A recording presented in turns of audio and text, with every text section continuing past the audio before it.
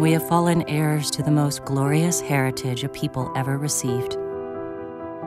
And each of us must do his part if we wish to show that the nation is worthy of its good fortune. Theodore Roosevelt. When President Roosevelt set aside millions of acres of land to be preserved forever, he did so knowing these were places of immeasurable value to humanity places of unequaled beauty that people all over the world would flock to. But this popularity comes at a cost few of us ever think about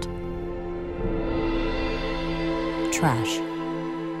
Each year, visitors to our national parks create over 100 million pounds of garbage, garbage that ends up in our nation's landfills. Fortunately, we can do something about it this year, Subaru, together with the National Park Service and the National Parks Conservation Association, will work toward the goal of making these incredible places zero landfill. Starting with Yosemite, Grand Teton, and Denali, we'll leverage Subaru's zero landfill expertise to help make garbage there a thing of the past.